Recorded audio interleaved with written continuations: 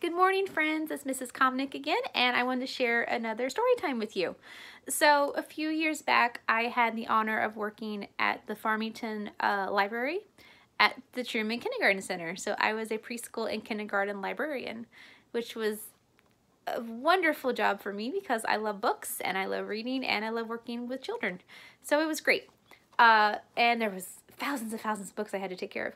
And I was just kind of scouring and organizing the books one day and I discovered the story and it be quickly became one of my favorite children's books in my adult life. It took me a while to find a copy of my own because it's no longer in print so I'm so happy that I have this copy. So I would like to read it to you guys and I read it on Valentine's Day with my kindergartners because it's a love story but I think you guys will enjoy it. It's called Dear Bunny and it's a bunny love story. The author is Michaela Morgan. I like that name. And it's illustrated by Caroline Church. So, Dear Bunny. Little mouse there, looking all cute. I like the artwork in this too, it's very pretty. Alright, so Dear Bunny. I'll show you the pictures first, and I'll read it. Know if you can see the girl bunny there. Once upon a time, there were two bunny rabbits. Their names were Valentino and Valentini, or Tino and Teeny for short. Uh, the sign says one lived here and one lived there. Every now and then they would peek at each other and think, oh, how lovely that bunny is. But neither one of them said a thing because they were both very, very, very, very, very, very, very, very, very, very shy. See the mice on the log. One day, Tino had an idea. I'll write a little letter, just a friendly hello sort of letter, and I'll put it in the hololog for Teeny to find. So here's his letter. Right there. This is the letter Tino wrote. Dear Teeny Bunny, I hope you are well. I thought I would write you a letter because it's such a lovely warm day over here.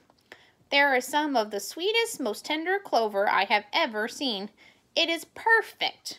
Perhaps you would like to hop over and share some of the warmth and sunshine and clover with me. I look forward very much to hearing from you. Best wishes, Tino. So I think it's like a little love letter.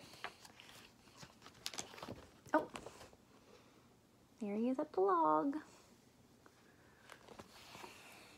Then Tino went hop, hop, hopping over to the hollow log and popped the letter just as it started to rain. Big drops of rain fell. Blop, blop, blop. So hop, hop, hop. Tino hurried home. And the mice say, Funny, bunny. Let's go. My ears are getting wet. That's what the mice are saying.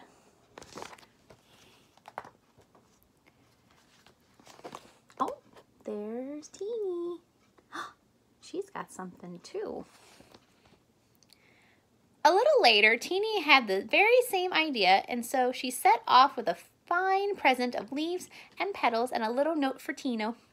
Teeny popped everything into the hollow log and hopped off quickly as the rain plip-plopped down. This is the note that Teeny wrote. Dear Tino, I hope you will like these lovely leaves and petals.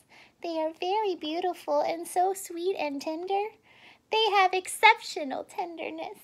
I picked them especially for you. Please accept them as a small gift from me. Teeny. P.S. I so look forward to hearing from you. Oh, that was nice. Oh. There's the mice.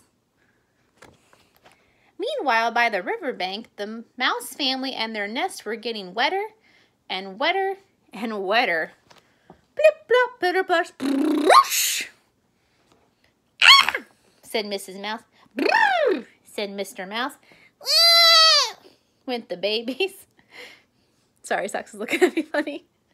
Through the rain, they scrambled looking for shelter. And where do you think they went? I like the little leaf umbrellas.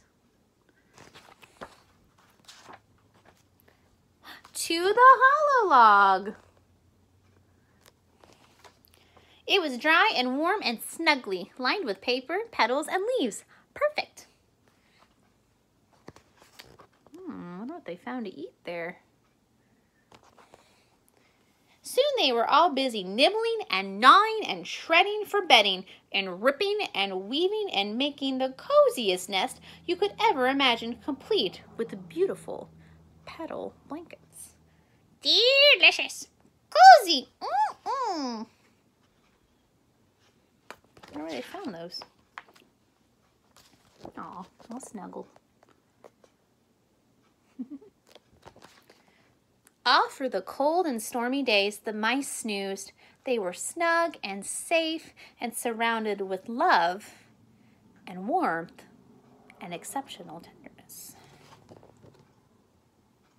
Hmm, I've heard those words before. There's Tino and Teeny. Oh, their faces look different. Hmm. At last the sun peeked through the clouds and the mice peeked out of their nest. And what do you think they saw? There's no letter for me. Oh dear, oh no, what have we done? Oh, Tino's crying. And then a little later, there's no letter for me. Oh, oh, oh, oh. What can we do? Oh, Teeny's crying. Oh. Oh, squeaked Mrs. Mouse. Oh, oh, oh. What have we done? said Mr. Mouse. What can we do? squeaked the baby mice.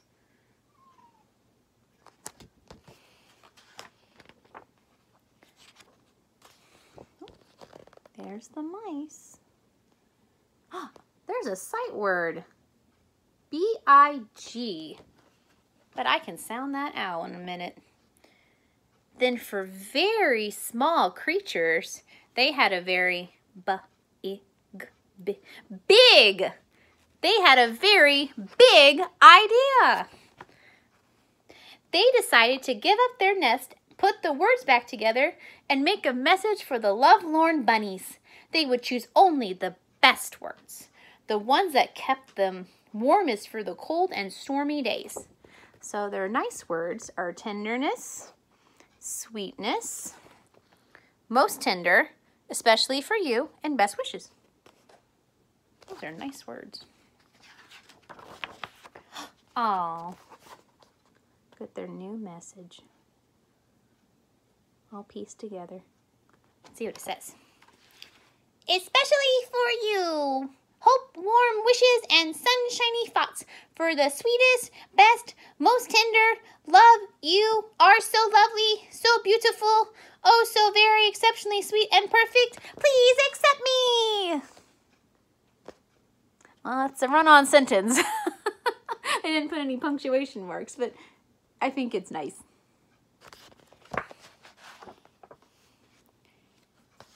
Tino hopped over and gazed at it. Teeny hopped over and gazed at it. Oh, I see hearts. I know what that means. It's when Mrs. Comnic starts fangirling. Then they gazed at each other, and that was that. I think they liked the note. and they both lived happily ever after. In with the pun. Aww. And the mice say, Hooray! We did it! Aw, I love happy endings. I do too, mice. I do too. Okay. So that is Dear Bunny, a bunny love story. And I just think this story is adorable. I like that the bunnies uh, even though they were shy, they still tried to reach out to each other and they were so kind. And I like that even though the mice made a mistake and it was an accident, they took responsibility and they fixed it. And everything worked out. So I think there's some fun lessons in there, and um, I always enjoy doing the voices on this as well. I hopefully he didn't mind my bunny and mice voices for that.